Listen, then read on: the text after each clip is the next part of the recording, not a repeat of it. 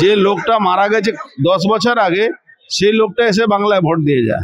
একটা শাহজাহানকে ধরলে দশটা শাহজাহান আওয়াজ উঠতে পারে তাহলে তাদের ভোট বাক্সে সেটা প্রতিফলিত হতে পারে। বাংলায় মানুষ কিন্তু গণতান্ত্রিক পরিবেশে আর নেই। তাদের সেলিব্রেশনের দিনটাকে আমি শহীদ দিবস বলতে না মানে চাই না। একশো পার্সেন্ট আমরা আমরা হিন্দুদেরকে নিয়ে রাজনীতি করব। নাহলে পশ্চিমবাংলা বাংলাদেশ। বাংলার মহিলারা আজকে বু- বুঝতে পারছে না কাল আগামী দিনে যত তারা শিক্ষিত হবে তত তারা বুঝতে পারবে তাদেরকে কীভাবে এই মুখ্যমন্ত্রী শিক্ষা থেকে দূর করে অন্ধকারের ভেতরে ঢুকিয়ে দিয়েছে। মানুষ যদি সেইভাবে আশীর্বাদ করে নিশ্চিতভাবে ওই সূর্যের কাছে দিয়াশালাইয়ের দরকার পড়বে না সূর্যের আলোতে জ্বলে যাবে। হচ্ছে। কতটা প্রভাব পড়বে? না, একটা রাজনীতি কার্যক্রম রাজনীতি কার্যক্রম করতে হয়। তার সঙ্গে সঙ্গে বাংলায় তো ভোট হয় না, বাংলায় ভোট করাতে হয়। এই ভোট করাবার জন্য যতগুলো কাজ সেটা করতে হবে, তার মধ্যে রাজনৈতিক কার্যক্রমও থাকে।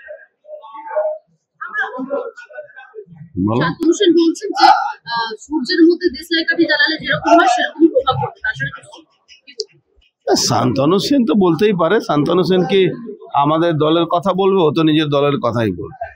ওর দল মমতা ব্যানার্জিকে সবসময় ভালোই বলবে।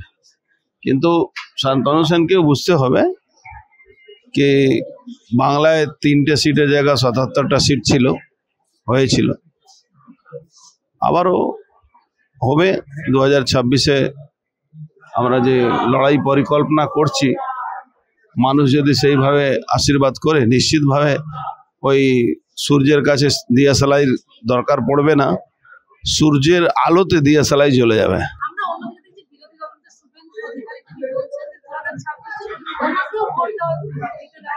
একশো পার্সেন্ট যদি পশ্চিমবাংলার বাঙালি হিন্দু যদি না বুঝতে পারে কি মমতা ব্যানার্জি বাংলাকে বাংলাদেশ বানাবার চেষ্টা করছেন তাহলে জেহাদিরা মোল্লারা উনাকে কেন কাউকে ভোট দিতে দেবে? এখানে স্বয়ং প্রধানমন্ত্রী এলে তাকেও ভোট দিতে পারবে না যদি তার ভোটার লিস্টে নাম থাকে। পোর্টাল খুলেছেন পোর্টালের একটা ডকুমেন্টেশন হওয়া দরকার আছে। সেই ডকুমেন্টেশন করার জন্য উনি করছেন। আর তার জন্যে যতগুলো আইনি লড়াই কীভাবে আগামী দিন ইলেকশন কমিশনকে উপরে আমরা প্রেশার দিতে পারি তার যেভাবে বাংলা ভোটটা হয়েছে বাংলাকে বাংলার ভোটটা তো ভারতবর্ষকে সামনে রেখে করা যাবে না। বাংলা মানুষ ভোট দেয় না। বাংলায় ভূত ভোট দেয়। যে লোকটা মারা গেছে দশ বছর আগে, সেই লোকটা এসে বাংলায় ভোট দিয়ে যায়। তো বাংলায় যে এসওপি তৈরি হচ্ছে, যে ভারতবর্ষকে সামনে রেখে সেই এসওপি তৈরি হলে কোনোদিন বাংলায় মানুষ ভোট দিতে পারবে।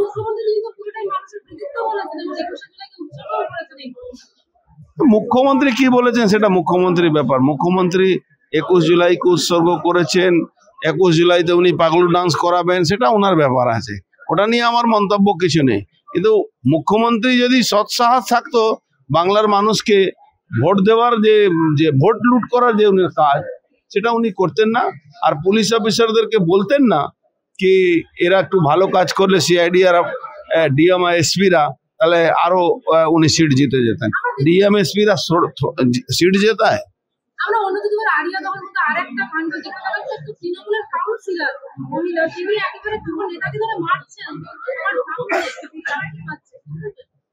দেখুন যেটা আপনাদের কাছে চলে আসছে সেটা লোক দেখতে পাচ্ছে।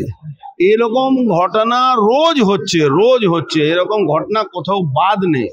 এরকম ঘটনা আজকে প্রকাশ্যে এসছে আপনারা পাবলিশ করেছেন আপনারা মানুষের কাছে তুলে ধরেছেন তাই লোক জানতে পেরেছে। এই আরিয়াদা এই কাশীপুর এইরকম রোজ আপনি দেখবেন প্রত্যেকটা পাড়ায় পাড়ায় হচ্ছে। এটা কোনো বাংলায় মানুষ কিন্তু গণতান্ত্রিক পরিবেশে আর নেই। শুভেন্দু অধিকারী আজকে বছর থেকে একটা মন্তব্য করলেন যে সংখ্যালঘু ভোট আমাদের চাই না। এটা কতটা প্রভাব পড়বে? একশো পার্সেন্ট আমি ওনার কথার সমর্থন করছি।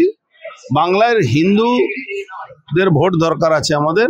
আমাদের এরা মুসলিমরা আমাদের ভোট দেয় না দেবেও না আর এদের ভোটও দরকার নেই। আমি তো বলব কা- এদের কাছে ভোট চাওয়াও দরকার নেই। একশো পার্সেন্ট আমরা আমরা হিন্দুদেরকে নিয়ে রাজনীতি করব। নাহলে পশ্চিমবাংলা বাংলাদেশ হবে। সন্দেশখালীকে আমরা দেখেছিলাম এক শাহজাহানের খোঁজ মিলেছিল আবার আমরা সোনারপুরেও দেখলাম আর এক শাহজাহান। দেখুন আমরা কোনায় কোনায় শাহজাহান বাংলায় লুকিয়ে রয়েছে এবং তারা পুরোপুরিভাবে ওপরের মদতে তারা এখনও পর্যন্ত মানে চারিদিকে তারা ঘুরে বেড়াচ্ছে, মহিলাদের উপর অত্যাচার করছে এবং সেটা আমরা শাহজাহান যখন ধরা পড়েছিল আমরা তখন বলেও ছিলাম। এবং এটা মমতা বন্দ্যোপাধ্যায় কিছু করেন না। ওনারা জানেন যে এনারাই ওদের ভোট এনে দেয়, এনারাই জোর করে ছাপ্পা ভোট করাতে পারে। এদের ভোটটাই বেশি করে দরকার আছে। তো একটা শাহজাহানকে ধরলে দশটা শাহজাহান আওয়াজ উঠতে পারে তাহলে তাদের ভোট বাক্সে সেটা প্রতিফলিত হতে পারে এবং সেই জন্যই তারা শাহজাহানদের ধরছে না।